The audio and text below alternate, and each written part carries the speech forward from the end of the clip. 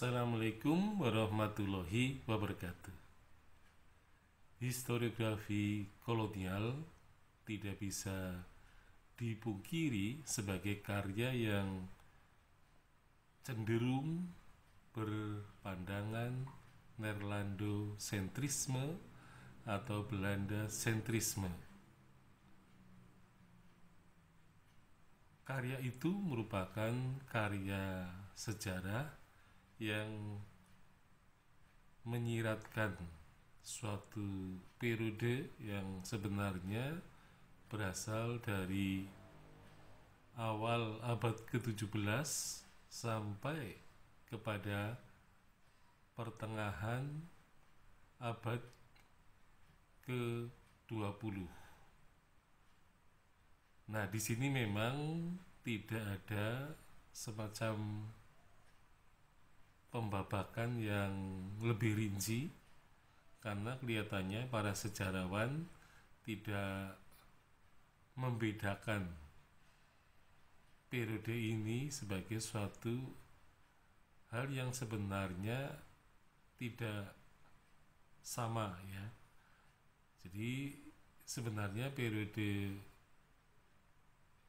historiografi kolonial ini bisa dibagi menjadi dua yaitu sejak 1602 sampai 1799 ketika VOC atau company ya, melakukan kolonisasi.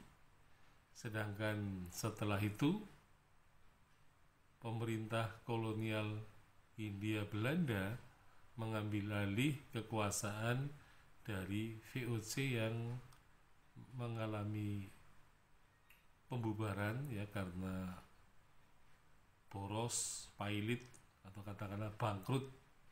Nah, sehingga kemudian pemerintah India Belanda mengambil alih kekuasaan dari VOC.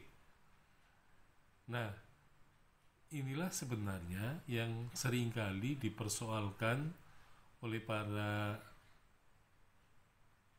apa sejarawan Indonesia yang menyatakan bahwa historiografi kolonial ini bukanlah karya sejarah yang menyiratkan bangsa Indonesia sebagai bangsa yang mempunyai peranan di dalam sejarah. Nah, di sini sejarah yang ditunjukkan memang bukan sejarahnya bangsa Indonesia, tetapi merupakan sejarahnya orang-orang Belanda yang tinggal di negeri jajahan, yaitu di India Belanda. Nah, tentu saja masa VOC atau yang disebut dengan company ini sebenarnya memang berbeda dengan masa pemerintah kolonial India Belanda. Jadi sebenarnya mestinya ada pembedaan, ya. tetapi sering kali sejarawan Indonesia tidak membedakan antara masa VOC atau company dengan pemerintah India Belanda. Nah, historiografi kolonial ini adalah historiografi yang menurut Sartono Kartotirjo ini merupakan karya yang memang penting ya meskipun tidak mencerminkan sejarah bangsa Indonesia. Pentingnya apa? Sartono melihat dari sisi data sejarah atau sumber-sumber sejarah Artinya sejarawan Indonesia bisa memanfaatkan sumber-sumber sejarah kolonial ini untuk menulis sejarah Indonesia yang Indonesia sentrisme. Nah, jadi Sartono mengatakan bahwa historiografi kolonial ini tidak harus dibuang ke tempat sampah tetapi masih memiliki kegunaan terutama untuk penulisan sejarah Indonesia. Nah, kelayakan data sejarah atau sumber sejarah yang terdapat pada arsip-arsip kolonial misalnya ini tidak berarti merupakan penulisan sejarah yang Nerlandosentrisme.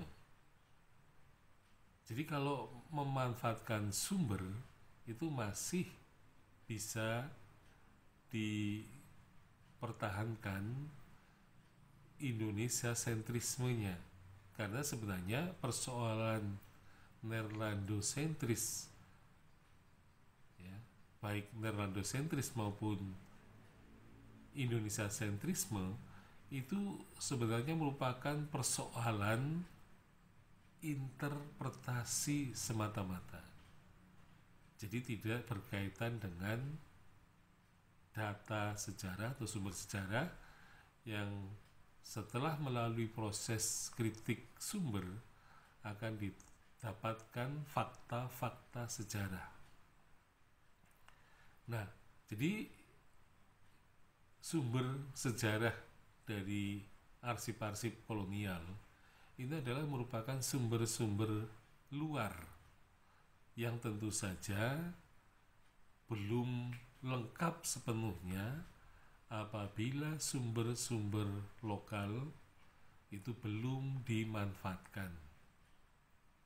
Nah, jadi historiografi Indonesia sentrisme dengan memakai sumber-sumber arsip kolonial ini bisa dibandingkan dengan sumber-sumber lokal ya, terutama dari misalnya manuskrip kemudian surat-surat ya, yang berkaitan dengan kerajaan-kerajaan kemudian dokumen-dokumen lokal dan itu bisa menjadikan sejarawan Indonesia menyusun sejarah Indonesia itu jauh lebih baik.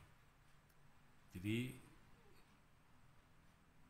fanatisme yang menuduh sumber-sumber itu bersifat Nerlandosentrisme ini harus diubah ya mindsetnya atau pemikiran bangsa Indonesia jadi kalau berkaitan dengan sumber ini tidak menjadi persoalan. Yang menjadi persoalan adalah interpretasi dan juga atau penafsiran terhadap fakta-fakta yang diperoleh dari penelitian. Nah, dengan demikian historiografi kolonial ini merupakan karya yang memang tidak bisa diabaikan oleh sejarawan Indonesia paling tidak sejarawan Indonesia bisa memanfaat, memanfaatkan sumber-sumber kolonial yang memang berkaitan dengan sejarah bangsa Indonesia pada masa kolonial. Jadi di sini nanti akan terjadi titik temu antara sumber-sumber kolonial dan sumber-sumber lokal. Sekian, Assalamualaikum warahmatullahi wabarakatuh.